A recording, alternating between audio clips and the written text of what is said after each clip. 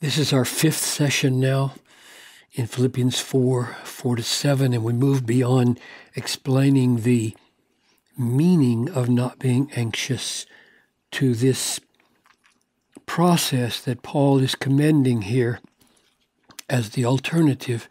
Don't be anxious, but, let's read it. Rejoice in the Lord always. And again, I'm going to keep on saying, rejoice, because this always here is going to involve some really difficult times. So I'm going to need to keep saying, counterintuitively, keep on rejoicing.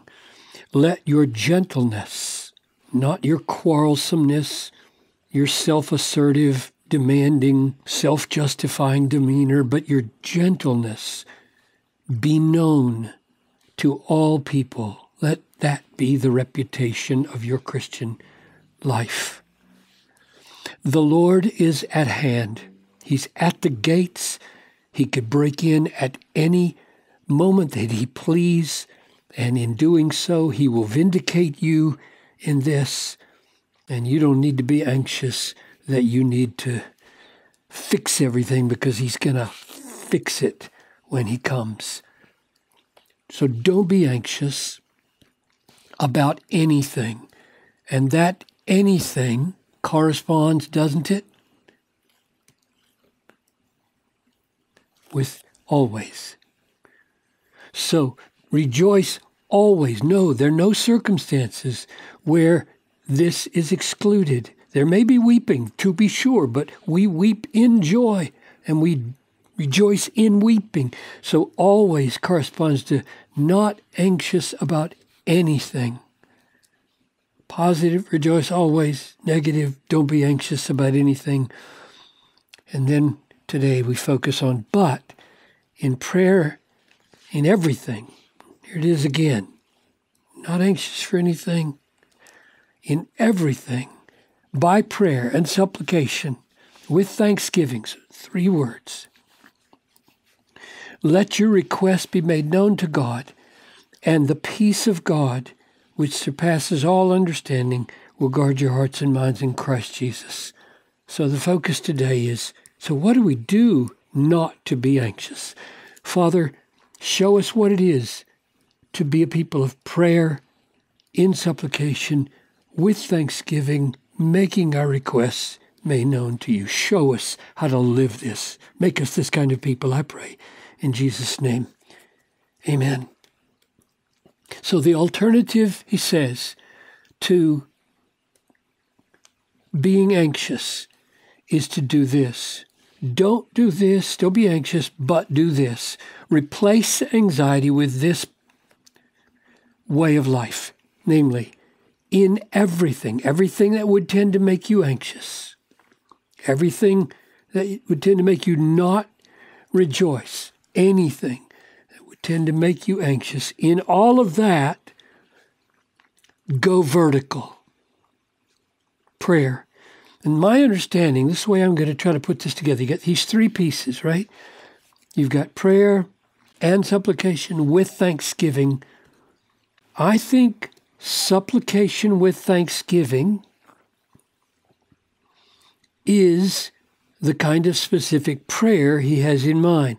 Prayer is the general word.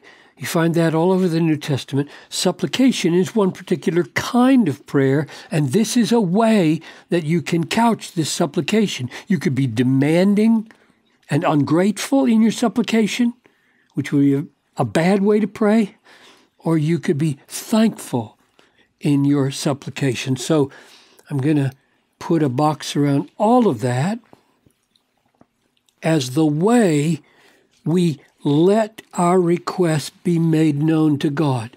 So there's the fundamental command let your requests, that's the supplications here, be made known to God.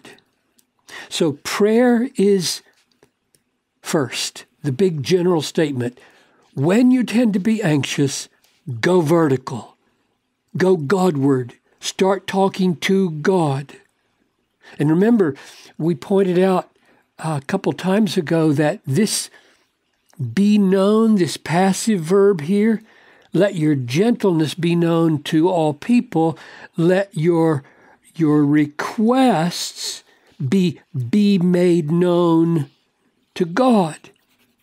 So solve the problem of being gentle as your reputation to all people by solving the problem of getting all of your requests that you need in order to be gentle from God.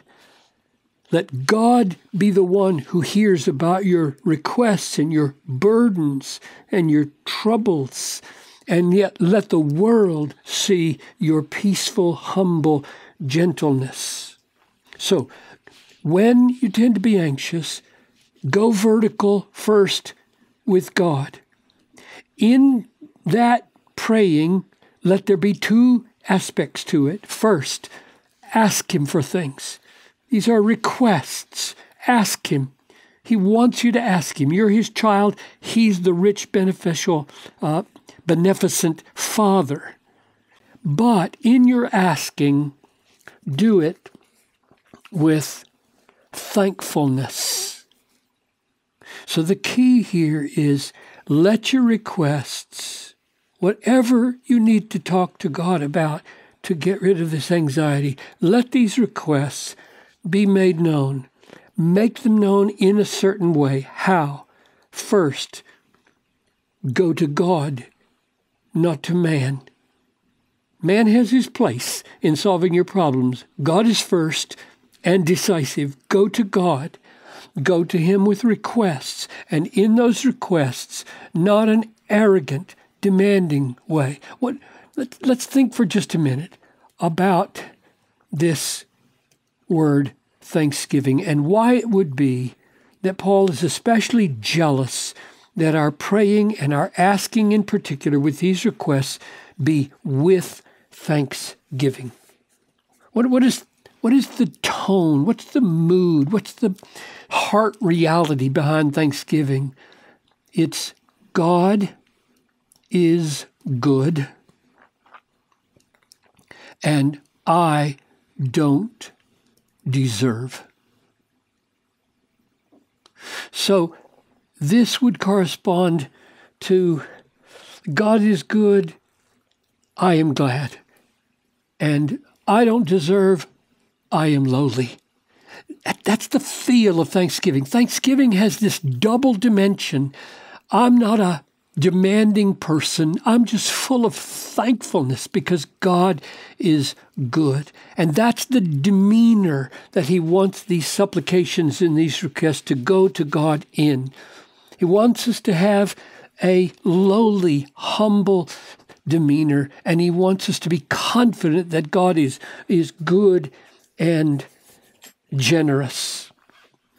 That demeanor will bring down the blessing of God in such a way that we don't have to be anxious, we can be gentle, and we can rejoice. So it's remarkable to me and very significant that he is saying, when you go to God, go to him in prayer with your request, but always have the mindset you're going to a good, generous Father that will make you thankful. And you're going in a humble lack of deserving. You're, you're coming as a child to a father, not a demanding employee that's earning wages. God is good and generous as a father. So let thanksgiving color this. One, just one more observation about thanksgiving. Here's Ephesians 5 4. Let there be no filthiness or foolish talk or crude joking, which are out of place. And then, stunningly, Paul says, but instead, let there be thanksgiving. There's just something about a heart of thanksgiving that says, God is so good. And I don't deserve what he gives me that rules out filthiness, foolish talk, crude joking. Isn't that amazing?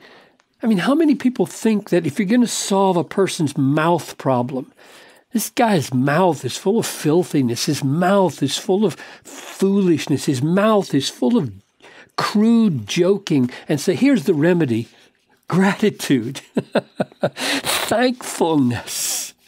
And so it's not surprising to me then that Paul would add thanksgiving as the heart disposition of this supplication that fits it to be free from anxiety, full of joy, gentle and kind, all of that, no doubt, producing a kind of purity of heart that doesn't fill itself with crudities or vanity or emptiness or complaining or quarrelsomeness. That's what Paul is after. He wants there to be, and this is what we turn to next time, a peace of God. And that'll be our last session. The peace of God that flows from this.